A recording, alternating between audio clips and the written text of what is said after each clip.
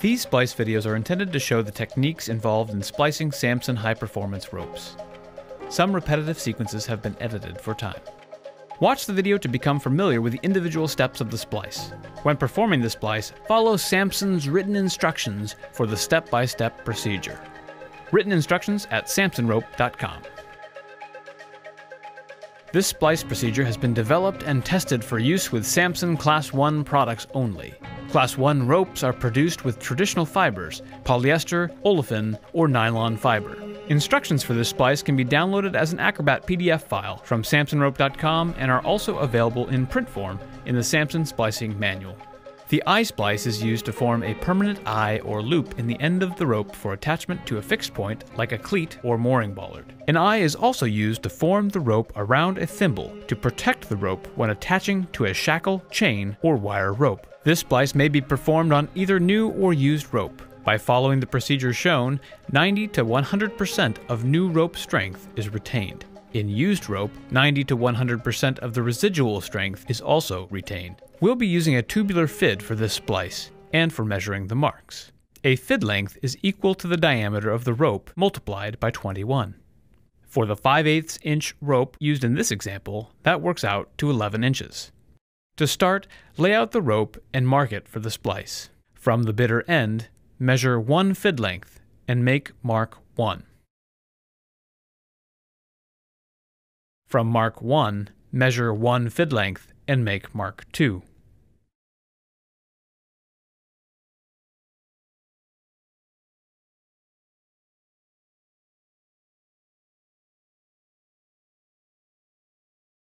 Form the desired size of eye and make Mark 3, adjacent to Mark 2.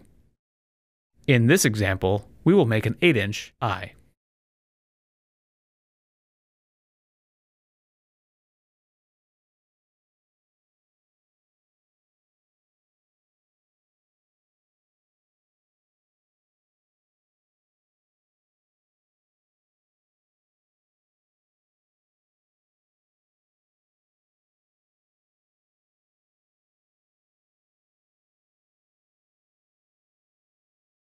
Now, from mark 1, mark every second left and every second right strand for three strands.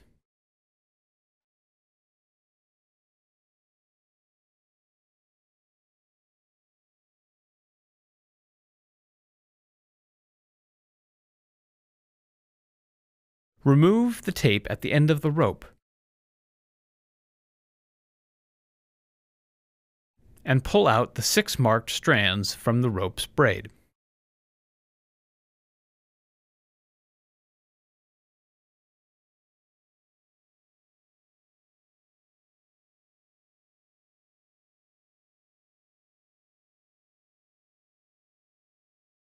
Cut them off close to the body of the rope, at your marks.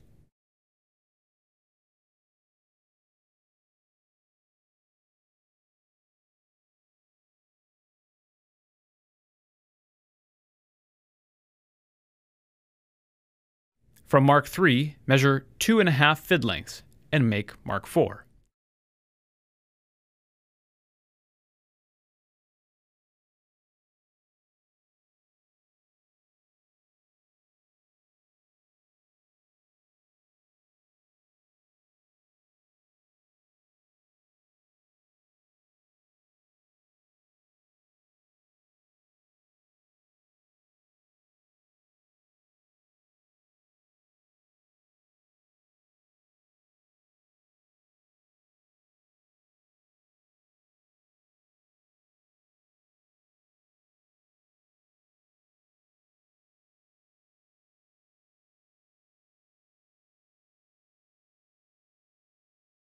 Now, insert the end of the rope into the end of the tubular fid.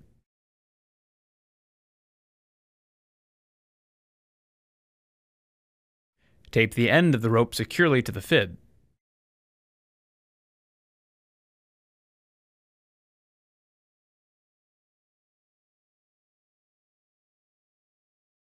Insert the fid into the rope at mark 3.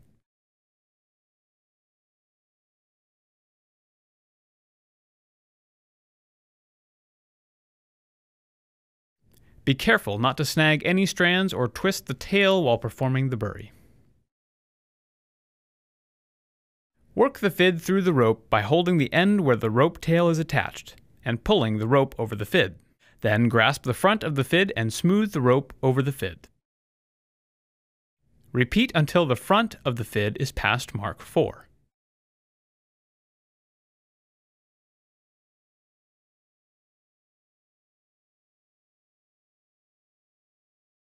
Bring the fid out of the rope and pull until marks 2 and 3 come together.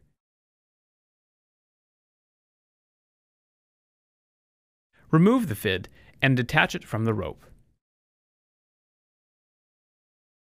Mark three consecutive strands from the end of the rope.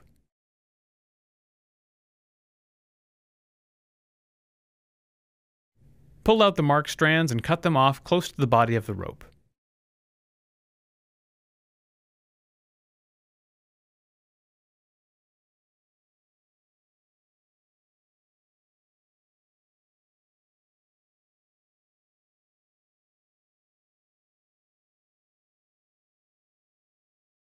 Pull the eye until marks 2 and 3 meet.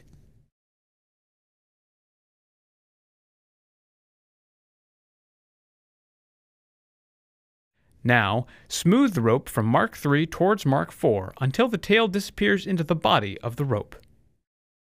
To make completion of the bury easier, it can help to attach the eye to a fixed point. This splice must be lock stitched before being put into service. Instructions on lock stitching and eye splice are available at samsonrope.com.